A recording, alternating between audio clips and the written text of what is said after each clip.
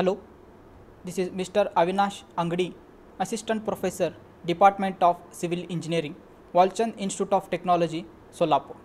Today we will discuss about the IS code method for bearing capacity equation. Learning outcome at the end of this session, student will be able to solve the bearing capacity problem by using IS code method. General bearing capacity equation IS code uh, Meyerhof will given the, in this this is equation QU is equal to CNC SC DC IC plus Q NQ minus 1 SQ DQ IQ plus 0.5 gamma B N gamma S gamma D gamma I gamma. This is general bearing capacity equation of IS code where this C is cohesion of soil and this NC, NQ and N gamma are bearing capacity factor. And this SC, SQ, S gamma are shape factor and DC, DQ and D gamma are depth factor and IC, IQ, I gamma inclination factor. This is general bearing capacity equation IS code okay for and he is also given some different shape of base or different footing for different values for shape factor. If in case continuous strip footing SC, SQ, S gamma is equal to 1. In case square footing your SC is 1.3 and SQ is 1.2 and S gamma 0.8. In case rectangular footing your shape factors are SC is 1 plus 0.2 B by L and this B is width of the footing and L is length of the footing and SQ is also 1 plus 0.2 B by L. Here SC is equal to SQ and S gamma 1 minus 0.4 into B by L. Or in case circular footing your SC is 1.3 and SQ is 1.2 and S gamma is 0.6 okay we will solve one problem by using this equation. See this is your problem. A rectangular footing a size of 1.8 by 3 meter has to transmit the load of a column at a depth of 1.5 meter. And calculate the safe load which the footing can carry at a factor of safety of 3 against the shear failure okay by using IS code method. And the the soil has following properties porosity 40 percent and specific gravity 2.67 and water content 15 percent and cohesion 18 kilonewton per meter square and angle of internal friction pi 32.5 degree and bearing capacity factors are NC is equal to 38.13 and NQ is 25.5 and gamma 35.21. This is your problem by in this problem you need to calculate the safe load by using IS code method or IS code equation. Okay. First you note down the given data. The porosity is 40 percent and specific gravity is 2.67 and water content 15 percent and cohesion is 18 kilonewton per meter square and angle of internal friction 32.5 degree and these are the bearing capacity factors NC, NQ, N gamma. Okay. Your first step you need to find out the QU ultimate bearing capacity by using this equation. Okay. Before you need calculating ultimate bearing capacity you need to calculate the unit weight of soil and unit weight of soil and dry density okay? By using this data. By using this data okay? I need to calculate first unit weight of soil that is your gamma okay what is your formula? Gamma is equal to gamma d into 1 plus water content. Okay?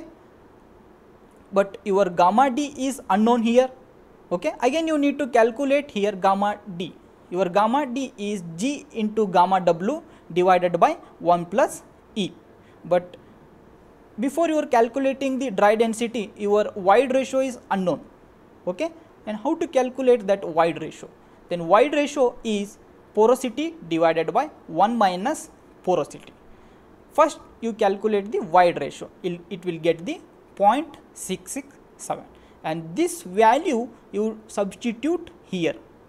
G gamma w divided by 1 plus e.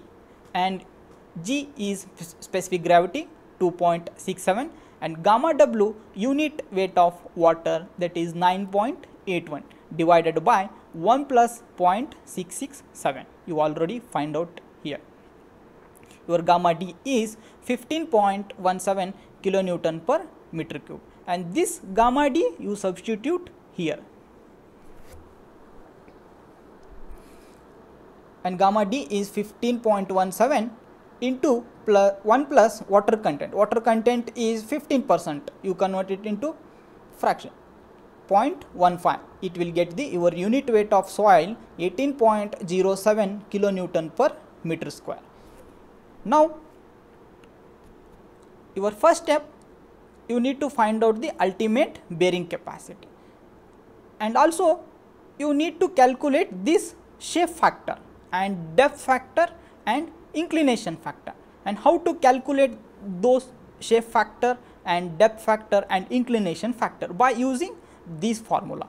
And depth factor dc is equal to 1 plus 0.2 into df by b into root of n pi.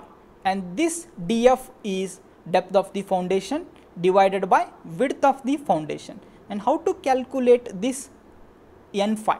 And this n phi is equal to tan square 45 plus pi by 2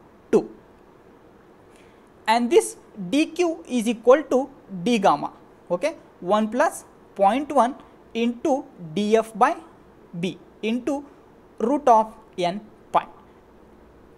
And how to calculate this shape factor? SC is equal to SQ okay? 1 plus 0.2 B by L. Your B is width of the foundation and L is length of the footing. And S gamma 1 minus 0.4 B by L. And how to calculate this IC, IQ and I gamma? Your IC is equal to IQ 1 minus alpha divided by 90 whole square. And this alpha is inclination. Inclination of the footing. And i gamma is equal to 1 minus alpha by pi. And this pi is angle of internal friction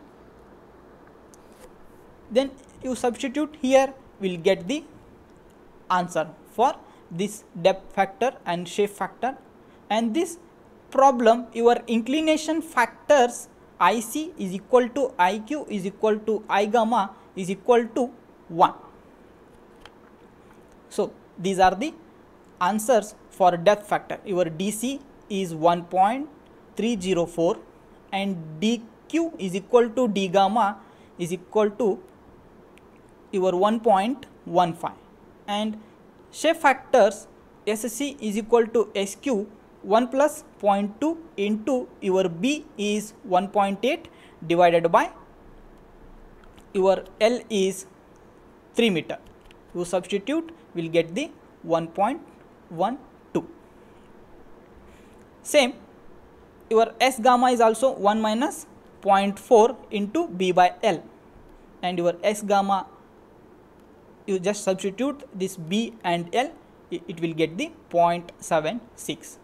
I already explained in this problem inclination factors IC is equal to IQ is equal to I gamma is equal to 1. Now you substitute these values in this equation. See QU is equal to C. C is cohesion of soil that is your 18 it is already mentioned here. C is your 18 and NC 38.13 into SC 1.12 see your SC is 1.12 into DC you already calculated DC DC is equal to 1.1 sorry 1.304 into and this IC is equal to 1 plus Q. Q means gamma into df df is depth of the foundation. Gamma is unit weight of the soil. That is your 18 you already find out. 18 18 into 1.5 into nq 25.85 minus 1 into 1.12 you know already SC is equal to SQ so you substitute SC value only into 1.152 dq value into 1 plus this last term 0.5 into gamma 18.07 into 1.8 width of the foundation. Into this n gamma into s gamma d gamma into 1 and you substitute calculate it will get qu is equal to 1815.89 kilonewton per meter square. Okay? And your second step qs is equal to qu divided by factor of safety plus q. And this q is gamma into d. You substitute this qu is 1 1815.89 divided by factor of safety is 3 plus gamma into d. You calculate it will get the answer 632.04 kilonewton per meter square. And your last step you need to calculate safe load. And how to calculate this safe load? Qs into b into l will get the safe load of this rectangular footing 3415 kilo newton. And these are the references. Thank you